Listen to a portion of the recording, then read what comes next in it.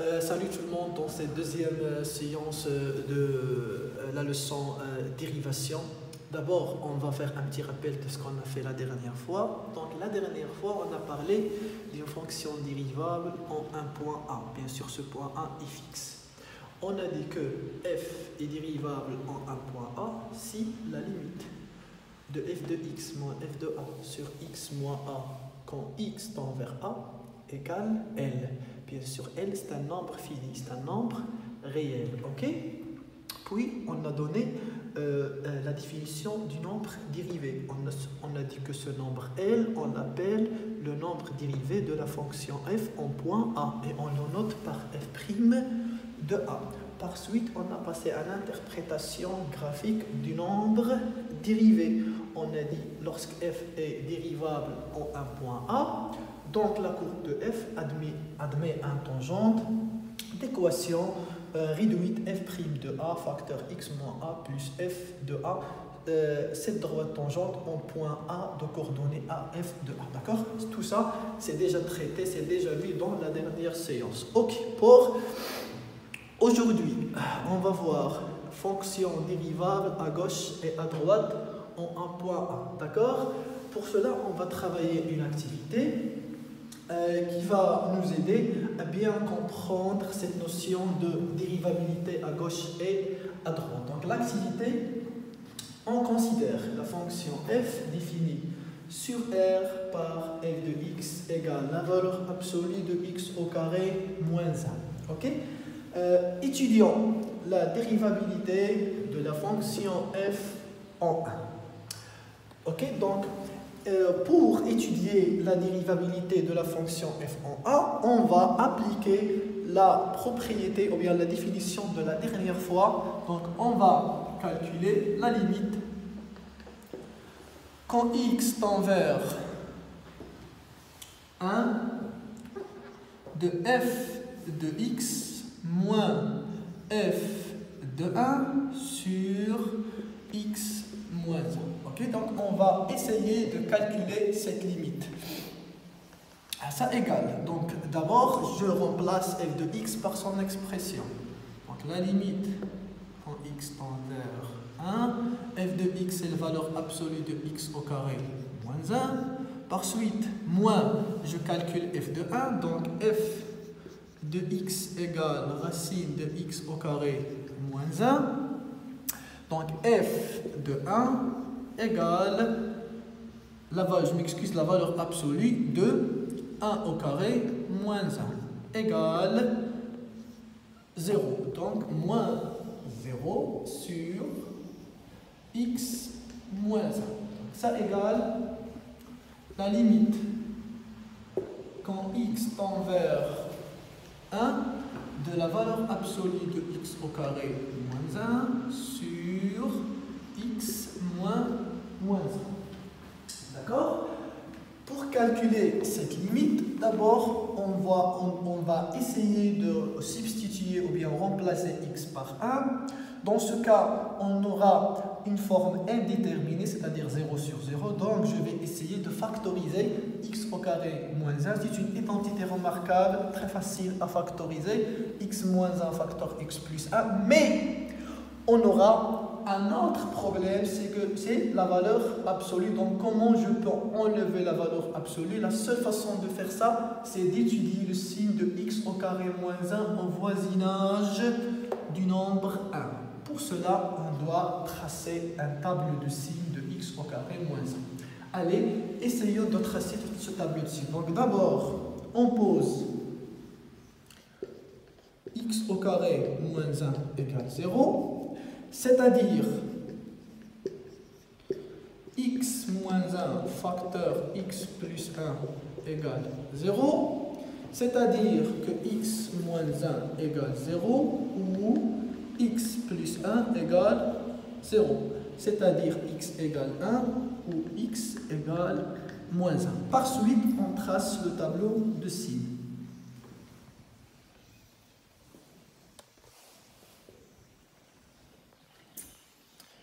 X, x au carré moins 1, moins l'infini, plus l'infini, moins 1 et 1.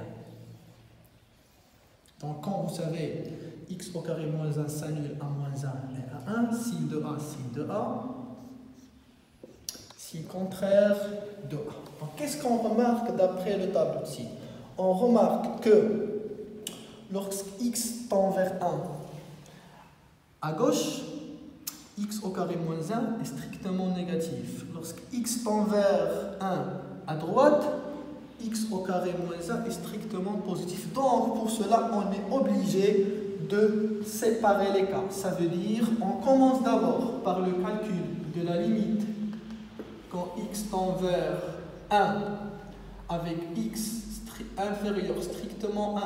Ou bien tout simplement, on dit x tend vers 1, 1 moins. Donc ça signifie la même chose. D'abord, on calcule cette limite de x au carré, la valeur absolue de x au carré moins 1 sur x moins 1.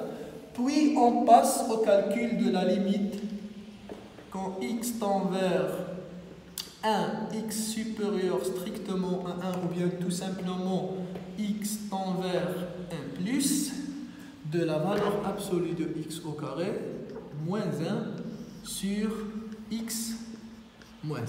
Allez essayer de faire euh, euh, ce petit travail, arrêtez la vidéo pendant 5 minutes et redémarrer la vidéo pour voir la correction. J'espère que vous avez réussi à faire ce petit travail. Donc commençons par cette limite. Donc la limite, quand x tend vers 1 euh, avec x supérieur, x inférieur strictement à 1, de la valeur absolue de x au carré moins 1 sur x moins 1, on revient au tableau de signes. Donc x tend vers 1 à gauche, x au carré moins 1 strictement négatif. Je vais enlever la valeur absolue, mais en ajoutant un signe de moins. Donc ça égale la limite quand x tend vers 1, un signe de moins, x au carré moins 1 sur x moins 1. D'accord? Maintenant, je factorise x au carré moins 1, très simple à factoriser, identité remarquable. Donc ça égale la limite quand x tend vers 1, x inférieur strictement, x inférieur strictement à 1, de moins x moins 1 facteur x plus 1 sur x moins 1. Maintenant, je peux simplifier. Je m'excuse. Donc voilà. Je simplifie x moins 1 avec x moins 1 et non x moins 1 avec x plus 1. Donc voilà, je simplifie x moins 1 avec x moins 1. Le résultat, c'est la limite quand x tend vers 1, x inférieur strictement à 1, de moins x plus 1. Maintenant, je remplace x, ou bien je substitue x par 1, donc 1 plus 1, c'est 2, le signe moins, c'est moins 2. Donc, qu'est-ce qu'on a trouvé? On a trouvé que la limite de f de x moins f de 1 sur x moins 1, quand je m'excuse, x tend vers 1, x inférieur strictement de 1 égale moins 2. Ça veut dire quoi? Ça signifie quoi? Attention, ça signifie que f est dérivable, mais dérivable gauche. D'accord? Donc f est dérivable à gauche en D'accord? Donc, comme f est dérivable à gauche en 1, je peux dire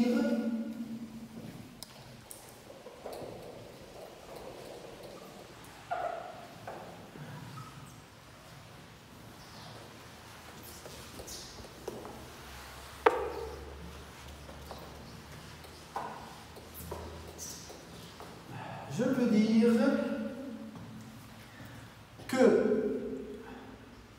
le nombre dérivé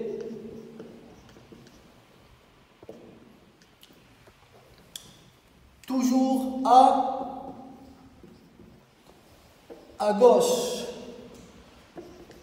de la fonction f en,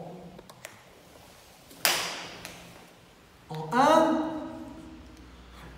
1 égale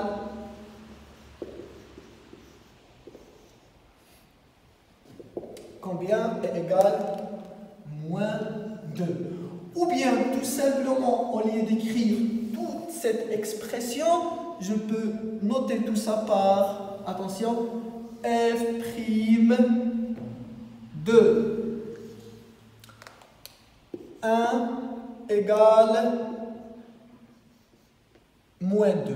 Mais pour différencier la limite à gauche, ou bien le nombre dérivé à gauche de nombre dérivé en général, je dois ajouter un symbole petit g comme ça pour montrer aux autres que c'est le nombre dérivé à gauche et pas le nombre dérivé en général. D'accord? Donc au lieu, de, dire tout ça, je peux tout simplement dire f' ou bien écrire f' petit g de 1 égale moins 2. D'accord? Maintenant, passons à la limite quand x tend vers 1, x strictement supérieur de 1 de la, valeur absolue de x au carré moins 1 sur x plus sur x plus 1 ou bien x moins 1, je m'excuse, c'est x moins 1. Ok? De la même façon, d'abord on va enlever la valeur absolue. Pour faire cela, on doit voir notre tableau de signes. Qu'est-ce qu'il nous dit, le tableau de signes Il nous dit que lorsque x tend vers 1 avec x strictement supérieur de 1, x au carré moins 1 est strictement positif. C'est-à-dire, j'enlève la valeur absolue sans rien changer. Donc ça égale la limite quand x tend vers 1 x strictement supérieur de 1 de x au carré moins 1 sur x moins 1. De la même façon comme j'ai fait la dernière fois, je factorise et je simplifie. Ça va être égal de la limite quand x tend vers 1, x strictement supérieur de 1, de x plus 1. De la même façon, je substitue x par 1, 1 plus 1 égale 2 je vais réécrire la même expression que j'ai écrit juste avant. Donc, la fonction, donc, la fonction f est dérivable. Attention, on doit préciser à à droite. D'accord? Donc f est dérivable à droite en 1. D'accord? Par suite, le nombre, le nombre dérivé, encore je précise, à, à droite de f en 1 est égal combien donc est égal 2 maintenant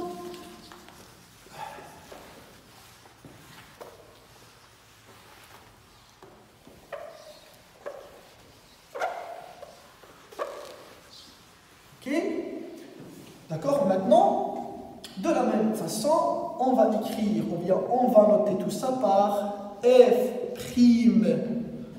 de 1 égale 2, mais la même façon, comme j'ai précisé le nombre dérivé à gauche, je dois préciser le nombre dérivé à droite par un petit indice comme ça.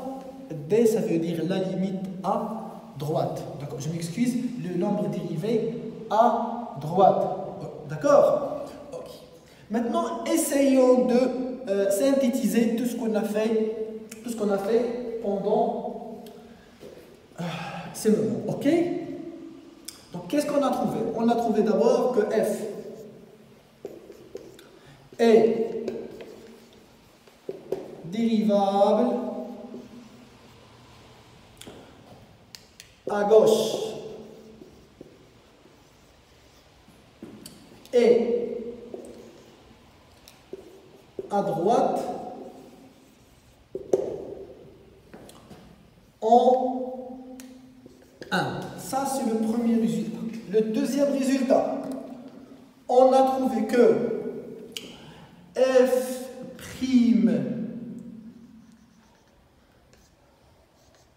de 1, ça veut dire le nombre dérivé à droite égale 2. Or, le nombre dérivé, ou bien f' à gauche, de 1 égale moins 2. Donc, je remarque que le nombre dérivé à droite est différent du nombre dérivé à gauche.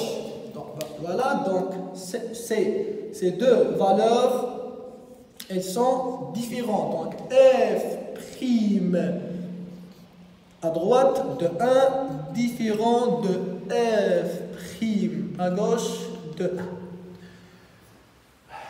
Dans ce cas, attention, dans ce cas, qu'est-ce qu'on dit Donc, lorsque on trouve que, que, le nombre dérivé à droite est différent du nombre dérivé à gauche, on dit que f attention, n'est pas dérivable.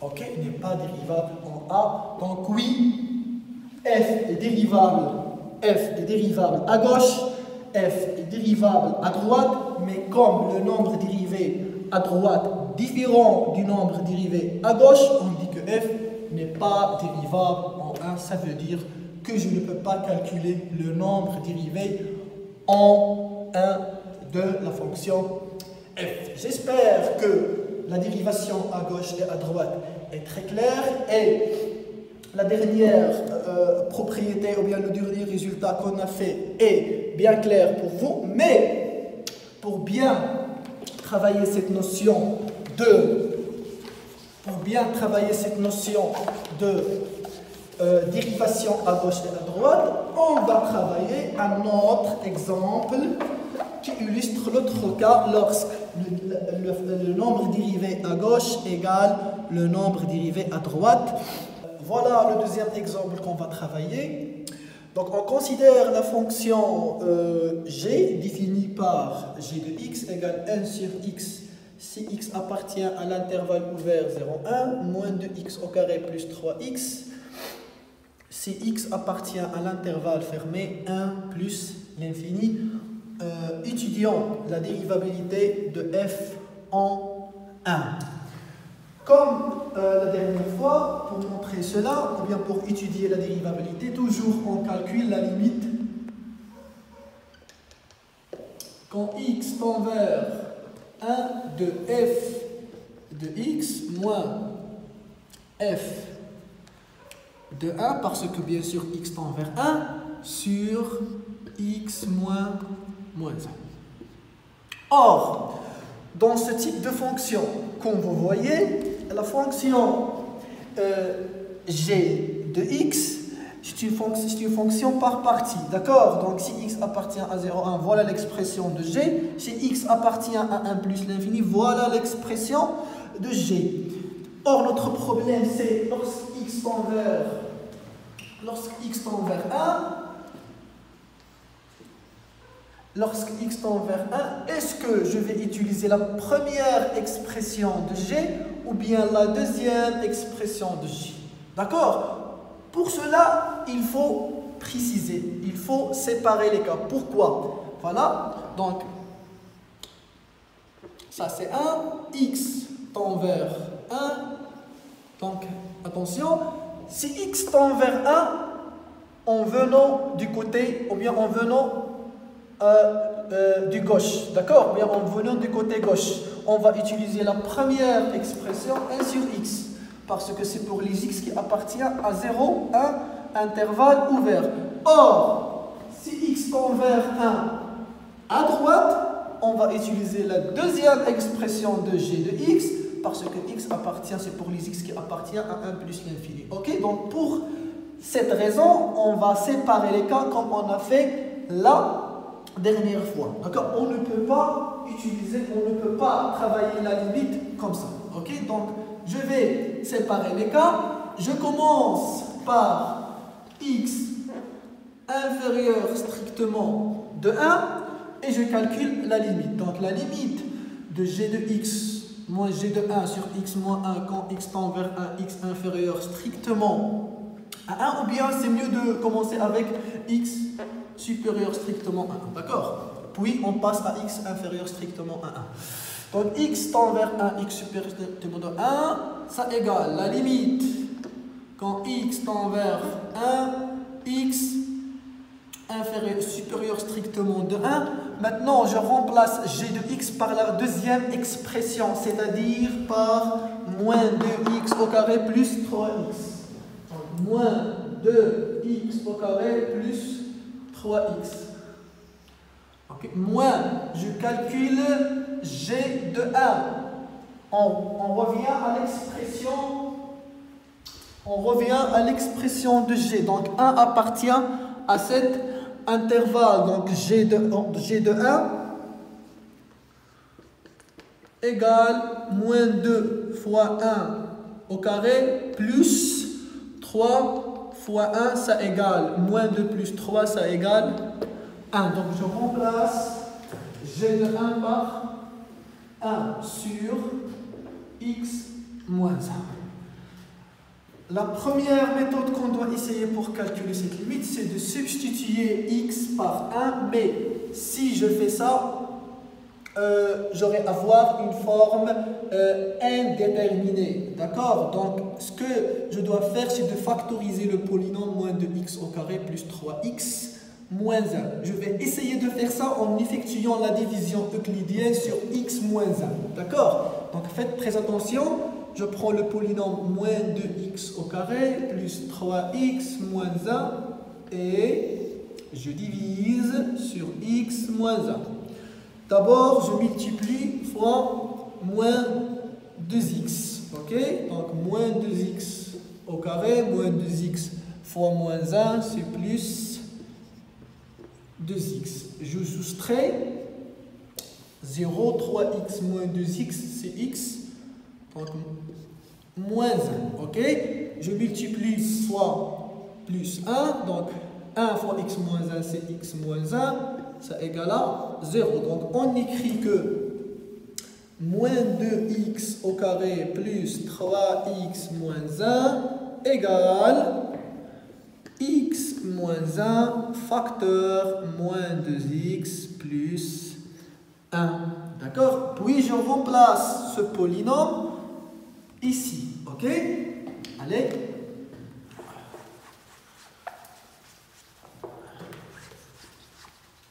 Donc la limite euh, de x moins 1 facteur moins 2x plus 1 sur x moins 1 quand x tend vers 1 avec x strictement supérieur à 1. Je simplifie, x moins 1 s'annule avec x moins 1.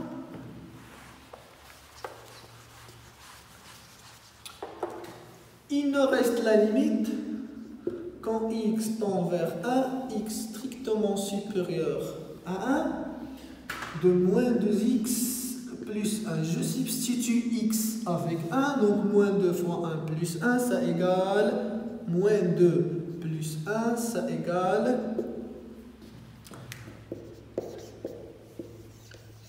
moins 1. Donc on écrit que f, je m'excuse, g prime de 1 Attention, à droite, je dois toujours préciser, égal moins 1 et j'en 4 ce résultat car on aura besoin de lui. Puis je passe à la limite quand x tend vers 1, x inférieur strictement à 1, de g de x moins g de 1 sur x moins 1. Dans ce cas, lorsque x inférieur strictement à 1, je remplace g de x par 1 sur x. D'accord? Parce que x appartient à l'intervalle ouvert 0, 1. Ok? Donc ça égale la limite quand x tend vers 1, x inférieur strictement à 1, de 1 sur x moins. Attention, pour calculer g de 1, je ne dois pas utiliser 1 sur x parce que 1 il n'appartient pas à l'intervalle 0,1. Donc même si on travaille avec 1 sur x, pour calculer g de 1, je dois utiliser cette expression de g parce que 1 il appartient à l'intervalle 1 plus l'infini. Heureusement, on a calculé g de 1 dans la dernière fois. Ok, donc g de 1 égale 1 sur x moins 1. Ok x moins 1. Je vais essayer de mettre en même dénominateur 1 sur x moins 1. Donc j'écris la limite de... Donc le dénominateur il sera x, donc 1 moins x, d'accord, sur x moins moins 1 x tend vers 1, x inférieur strictement à 1. Ici, on peut simplifier 1 moins x et x moins 1 parce que ces deux nombres sont opposés. C'est-à-dire, je factorise avec moins 1, 1 moins x. La limite, elle sera moins x moins 1 sur x, le tout sur x moins 1, je simplifie. X moins 1 avec x moins 1. Donc la limite, x tend vers 1, x inférieur strictement de 1, de 1, moins 1 sur x. Maintenant, je remplace, ou bien je substitue x par 1. Donc c'est moins 1 sur 1, ça égale moins 1. Donc, qu'est-ce qu'on écrit? On écrit que le nombre dérivé, donc ça égale moins 1. Donc, on écrit que le nombre dérivé, attention, g' de 1, mais on doit préciser, à gauche, égale moins 1. Ok? Donc, qu'est-ce qu'on a trouvé dans, dans cet exemple? On a trouvé que G est dérivable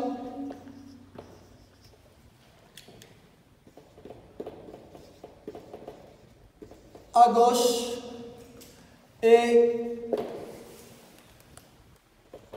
à droite. Ça, c'est le premier, c'est la première chose, d'accord? Et on a trouvé que, attention, le nombre dérivé à droite en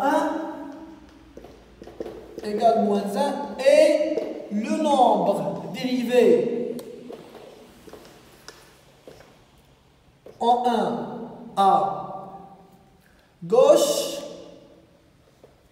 égale moins 1. Donc les deux nombres dérivés à gauche et à droite en 1 et sont égaux. Voilà. Donc G' D de 1 égale G' à gauche de 1. Je m'excuse cas là. Dans ce cas, on dit que si les deux conditions suivantes sont on peut dire, et on a le droit de dire, que la fonction g est dérivable en 1. En plus de ça, g' de 1 égale moins 1. D'accord? Donc on a vu un exemple lorsque le nombre dérivé à gauche égale le nombre dérivé à droite. Dans ce cas, on peut dire que la fonction elle est dérivable en ce point qui est dans notre cas 1. D'accord? Maintenant, essayons de faire un petit résumé ou bien une synthèse de tout ce qu'on a fait. D'accord? Voilà la synthèse de tout ce qu'on a fait euh, pendant cette séance. Donc, on a dit que f est dérivable à gauche en a si la limite quand x tend vers a avec x inférieur strictement à a de f de x moins f de a sur x moins a égale L. L, bien sûr, un nombre réel fini. On a dit que f est dérivable à droite en a si la limite de f de x moins f de a sur x moins a quand x tend vers a avec x strictement supérieur de a ou bien x tend vers a plus, ça signifie la même chose, égale L' avec L' toujours un nombre réel fini. D'accord? La dernière propriété qui est une propriété fondamentale, c'est que si f est dérivable à gauche et à droite en a, et, attention, l'alcoolate ça veut dire et, en plus de ça, f' à gauche de A égale f' à droite de A, c'est égal bien sûr soit L soit L' parce que euh, f euh, à gauche c'est L, f à droite c'est L'. Donc f à gauche ou bien le nombre dérivé à gauche égale le nombre dérivé à droite. Si j'ai ces deux conditions vérifiées, je peux dire que f est dérivable en A en plus de ça, f' de A égale euh, f' à droite égale f' à gauche égale bien sûr L ou bien L' parce que dans ce cas L égale L'. D'accord? Donc cette propriété elle est fondamentale pour dans certains cas pour montrer que f est dérivable en A comme on a vu juste dans le dernier exemple. Allez, je veux voir dans la prochaine séance. Prenez soin de vous.